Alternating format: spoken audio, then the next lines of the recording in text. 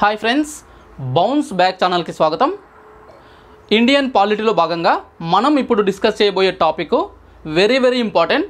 ఎగ్జామ్లో ఏ ఎగ్జామ్ అయినా సరే పరీక్షలో పోటీ పరీక్షలో క్వశ్చన్ అయితే డైరెక్ట్గా రాదు కానీ నెక్స్ట్ చెప్పబోయే అన్ని టాపిక్స్కి అన్ని చాప్టర్స్కి ఈజీగా అండర్స్టాండ్ కావాలంటే మిగతా చాప్టర్స్ని అర్థం చేసుకోవాలంటే ఇప్పుడు చెప్పబోయే టాపిక్ పైన గ్రిప్ రావాలి. సో ఈ బేసిక్ కాన్సెప్ట్స్ అనేటివి అర్థం కావాలి. అప్పుడే మనం నెక్స్ట్ రాబోయే టాపిక్స్ అనేటివి ఈజీగా అర్థం చేసుకుంటాము. కాబట్టి ఇది వెరీ వెరీ ఇంపార్టెంట్ టాపిక్గా చెప్తున్నాను. సో చిన్నగానే ఉంటుంది వీడియో సో పూర్తిగా చూడండి. అవగాహన తెచ్చుకోండి. ఆ తర్వాత నెక్స్ట్ క్లాసెస్లో మీరు ఈజీగా టాపిక్స్ని అయితే అర్థం చేసుకుంటారు. సో మరి ఏంటి ఆ టాపిక్ అని చూసే చూడబోయే ముందు సో వీడియోని లైక్ చేయండి షేర్ చేయండి. అదేవిధంగా ఇంకా సబ్స్క్రైబ్ చేసుకోకపోయి ఉంటే కొత్తగా చూస్తున్నట్లయితే ఛానల్ని సబ్స్క్రైబ్ చేసుకోండి. ఓకే? సో ఫ్రెండ్స్ మనకు ముఖ్యంగా పాలిటీలో పాలిటీలో ఎక్కువగా వినబడే పదాలు కార్యనిర్వాహక శాఖ శాసన శాఖ అదేవిధంగా న్యాయ శాఖ అని చెప్పేసి ఉంటుంది. Okay? So legislative executive and judiciary system అని చెప్పేసి త్రీ ఆర్గాన్స్ అని చెప్పేసి ఉంటాయి. సో ప్రభుత్వం గవర్నమెంట్లో త్రీ ఆర్గాన్స్ ఉంటాయి. అవే ఈ executive and legislative and judiciary. అవేంటి? అసలు వాటి మధ్యలో తేడా ఏంటి? ఎగ్జిక్యూటివ్ అంటే ఏంటి? లెజిస్లేటివ్ అంటే ఏంటి? జుడిషియరీ అంటే ఏంటి? వాటి ఫంక్షనింగ్స్ ఏంటి? అవి ఎట్లా పనిచేస్తాయి? వాటిలో ఏముంటాయి అని చెప్పేసి మనం ముందు తెలుసుకోవాలి. తెలుసుకుంటేనే మనం నెక్స్ట్ ఏది చదివినా కూడా వాటికి ఒక కమాండ్ అనేది వస్తుంది. సో ఫ్రెండ్స్ ప్రభుత్వం గవర్నమెంట్ గవర్నమెంట్ వచ్చేసి మనకు త్రీ ఆర్గాన్స్ కనిపిస్తాయి. Three organs of the government అని చెప్పేసి అంటాము. అవి వచ్చేసి లెజిస్లేటివ్ ఓకే లెజిస్లేటివ్ అంటే శాసన శాఖ. శాసన శాఖ. శాఖ. ఓకే నెక్స్ట్ ఎగ్జిక్యూటివ్ ఎగ్జిక్యూటివ్ అంటే కార్యనిర్వాహక శాఖ. ఓకే నెక్స్ట్ జ్యుడిషియరీ అంటే న్యాయ శాఖ. ఓకే న్యాయ శాఖ. సో వీటి పేర్లలోనే మనకు కొంత మీనింగ్ తెలుస్తుంది. శాసన శాఖ అని చెప్పేసి అంటే శాసనము అంటే చట్టము ఓకే లా. యాక్ట్స్ ఇవన్నీ ఉంటాయి కదా ఈ శాసనాలు చేసే ఒక బ్రాంచ్ అని చెప్పేసి అర్థము. నెక్స్ట్ కార్యనిర్వాహక శాఖ అంటే కార్యము. కార్యము అంటే పని ఓకే? నెక్స్ట్ నిర్వాహకము అంటే నిర్వహించడము పనిని చేయడము ఎగ్జిక్యూట్ చేయడము. శాఖ అంటే బ్రాంచ్ కార్యాన్ని అంటే పనిని చేసే శాఖ అని చెప్పేసి మనకు అర్థం వస్తుంది. నెక్స్ట్ నెక్స్ట్ న్యాయ శాఖ. న్యాయము ఓకే?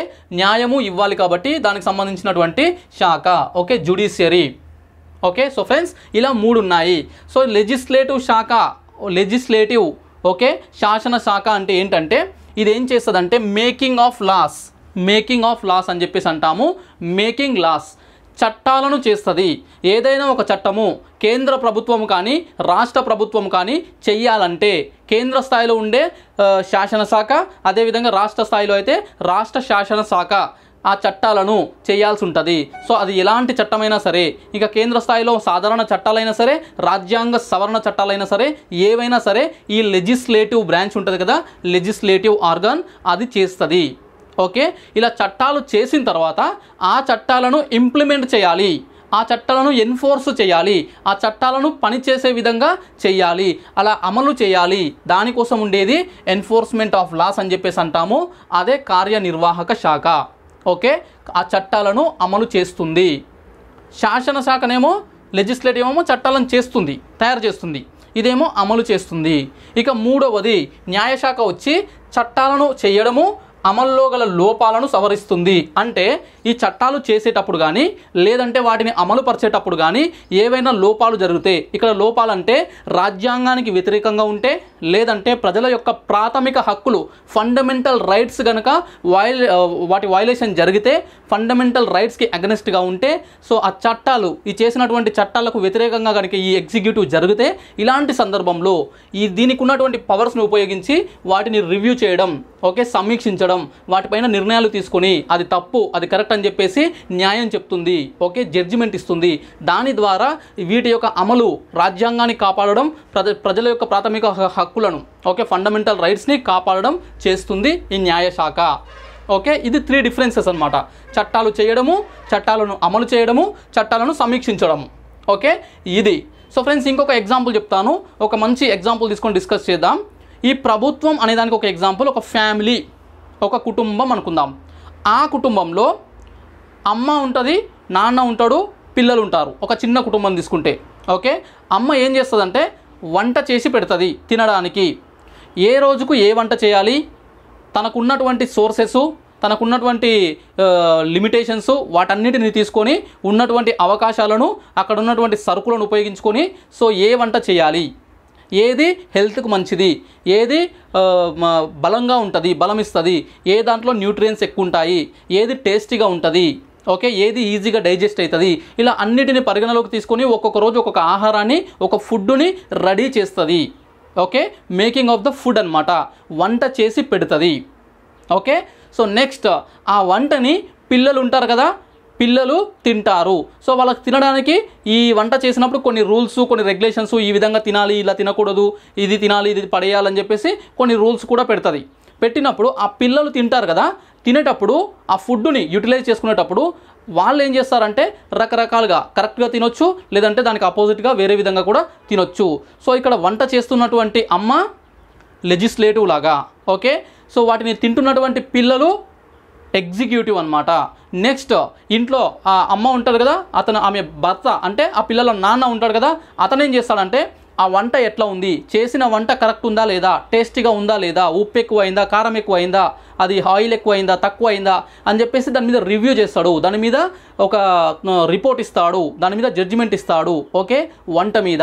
అదే విధంగా ఆ తినే పిల్లలు ఉంటారు కదా వాళ్ళు తినే విధానం పైన కూడా అతను రివ్యూ ఇస్తాడు. అలా తినొద్దు అలా తినాలని చెప్పేసి కరెక్ట్ కాదు కరెక్ట్ అని చెప్పేసి రివ్యూ చేస్తుంటాడు. ఓకే? సో ఇక్కడ నాన్న వచ్చేసి జుడిషరీ సో ఫ్రెండ్స్ ఆ వంట చేస్తున్నటువంటి అమ్మ ఎగ్జిక్యూటివ్ ఈ లెజిస్లేటివ్ లాగా చట్టం చేసే ఈ శాసన శాఖ లాగా లెజిస్లేటివ్ లాగా వాటిని తింటున్నటువంటి పిల్లలు వచ్చేసి ఎగ్జిక్యూటివ్ లాగా అంటే ఎన్ఫోర్స్ చేస్తున్నారు. అక్కడ ఫుడ్ తింటున్నారు ఇక్కడ చట్టాలను అమలు చేస్తున్నారు. చట్టాలను అమలు చేయడంలో భాగంగా ప్రభుత్వము రకరకాల స్కీమ్స్ రకరకాల పాలసీస్ చేస్తుంది ఆ నిర్ణయాలను తీసుకుంటుంది.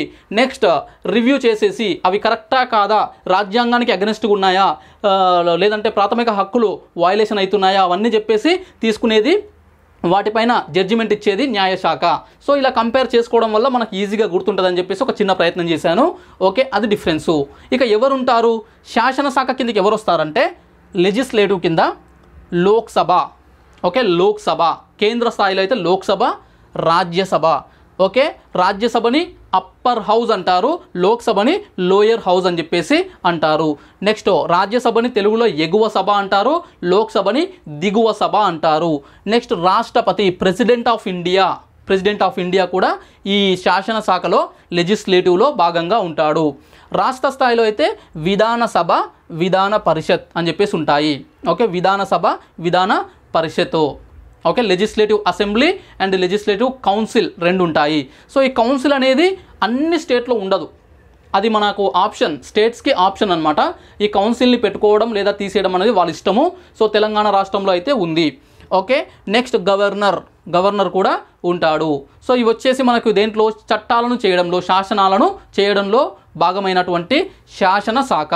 Legislative organ next executive organ అంటే ఎన్ఫోర్స్మెంట్ ఆఫ్ లా అంటాం కదా. సో చట్టాలను అమలు చేసేటువంటి ఈ ఎగ్జిక్యూటివ్ కార్యనిర్వాహక శాఖలో రాష్ట్రపతి.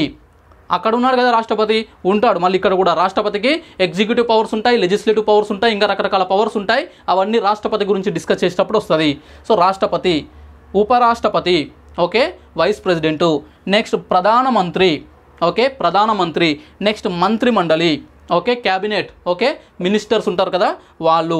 నెక్స్ట్ గవర్నర్ రాష్ట్ర స్థాయిలో అయితే గవర్నరు ముఖ్యమంత్రి రాష్ట్ర మంత్రివర్గం అంటే రాష్ట్ర cabinet. Next civil servants okay civil servants కూడా. వీళ్ళందరూ కూడా ఎగ్జిక్యూటివ్లో భాగంగా ఉంటారు.